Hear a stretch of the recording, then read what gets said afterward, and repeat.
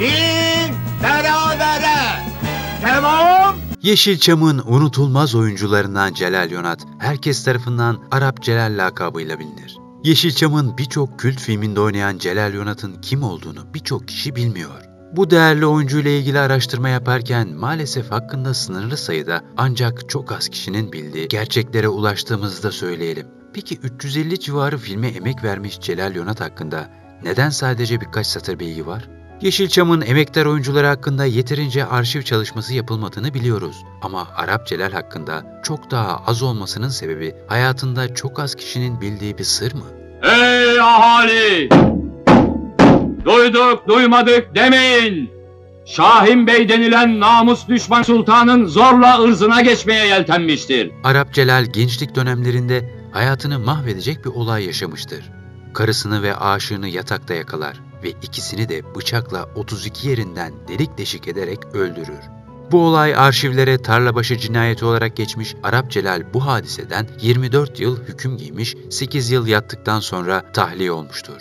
Ayrıca Arap Celal'in esrar dahil iyi bir içici olduğu da Yeşilçam sokağında bilinen bir gerçektir. Kemal Sunal'ın kendisine hitaben söylediği Arap sen içme, bokunu çıkarıyorsun repliğiyle belleklere kazınan sinema emekçisi Yeşilçam'da tam 350'ye yakın filmde görev almıştır. Hadi şerefe içelim.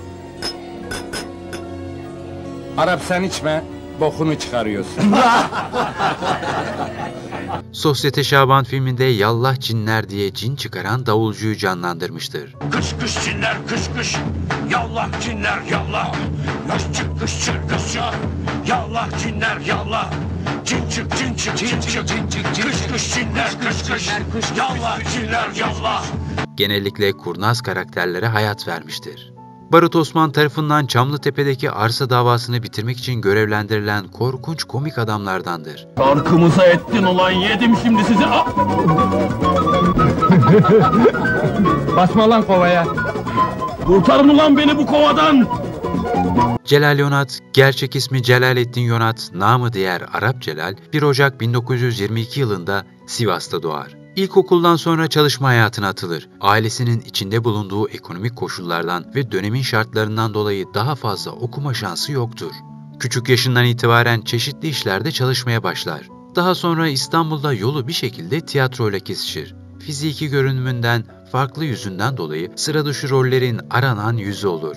Bir süre Burhanettin Tepsi ve İsmail Dümbüllü topluluklarında çalışır. O dönem tiyatroda çalışmak herkesin harcı değildir. Çünkü tiyatrocuların çoğu karın tokluğuna çalışmakta ya da tiyatro dışında başka işlerle de uğraşarak geçinmeye çalışmaktadır. Gerçi aradan o kadar yıl geçmesine rağmen hala birçok tiyatro topluluğu, oyuncuları geçim sıkıntısı yaşamaya devam etmektedir. Celal Yonat da tiyatroda çalışırken sefalet içinde turnelerde sahne almış, sonra da Yeşilçam'da hayat kavgasına devam etmiştir. Sinemaya figüran olarak girer ve daha çok Arap Celal ismiyle tanınır.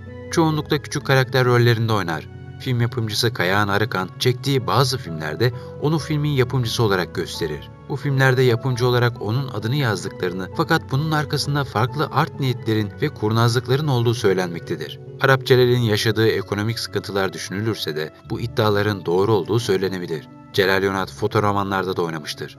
Sinemaya 1951'de ilk filmi Barbaros Hayrettin'de figüran olarak girer. Celal Yonat, Zeynep'in aşkı, Kara Davut, Kadın Düşmanı, Yedi Köyün Zeynep'i, Köroğlu, Yalan Yıllar, Aşk Eski Bir Yalan, Yaşamak Daha Zor, Yaralı Ceylan, Kanunsuz Kardeşler, Yırtık Niyazi, Tophaneli Osman, Tarkan Viking Kanı, Tarkan Altın Madalyon, Kader Yolcuları, Asiye Nasıl Kurtulur, Sahte Kabadayı, Sakar Şakir, Gerzek Şaban, Huzurum Kalmadı gibi filmlerde çeşitli rollerde oynar. Yeşilçam'daki en büyük rolü Hulusi Kentmen ve Müjdat Gezi'nin rol aldığı Hababam taburundaki general karakteridir. Yarın büyük tatbikat var. Umumba Cumhuriyeti sizlerden namus, fazilet, ahlak ve kahramanlık bekliyor. Onu en çok tanınır kılansa Kemal Sunal filmlerinde canlandırdığı karakterler olmuştur. Birçok yardımcı oyuncu gibi o da Kemal Sunal filmleriyle akılda kalmış ve bu filmlerin vazgeçilmez oyuncularından biri olmuştur. Korkusuz Korkak'ta, Gerzek Şaban'da, Yedi Bela Hüsnü'de ve bilumum filmlerde deri rengi sebebiyle Arap Celal rolüyle karşımıza çıkar.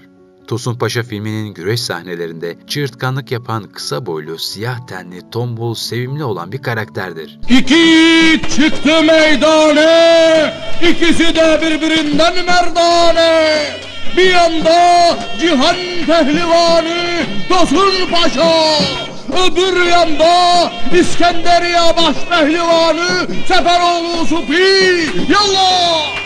Celal Yonat'la ilgili çok az kişinin bildiği bir sır bulunmaktadır. O zamanlar Yeşilçam'da mesleğe küçük bir ara vermek bile ekonomik olarak çöküntü demek olduğundan asker kaçağı boldur Yeşilçam piyasasında. İki yıl askere gitmek demek sinemada unutulmak ve silinmek anlamına geliyordur. 12 Eylül darbesi sonrası Yeşilçam'da yoğun tahkikatlardan nasibini aldığından 40 yaşından sonra askere giden sinemacılarla doldur kışlalar.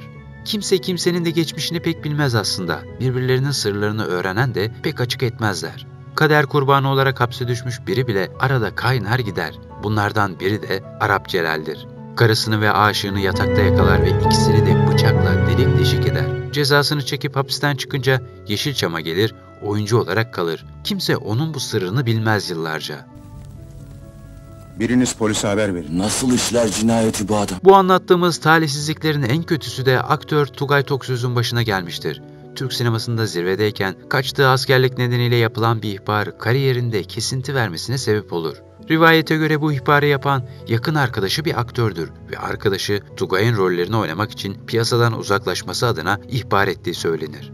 Askerlik dönüşü eski şaşalı günlerden uzak kalır. Yeri başkaları tarafından doldurulmuştur. Alkole sığınır. Oyunculuktan kazandığı büyük servet dibe vurur. Seks furyasının filmlerinde oynamak zorunda kalır. Artık eski Tugay değildir. Çok kan kaybetmişsiniz.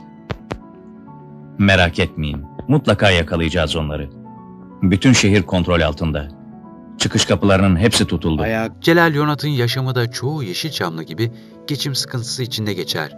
Yüzlerce filmde oynamasına rağmen yıllarını verdiği sinemadan hiçbir şey kazanamaz.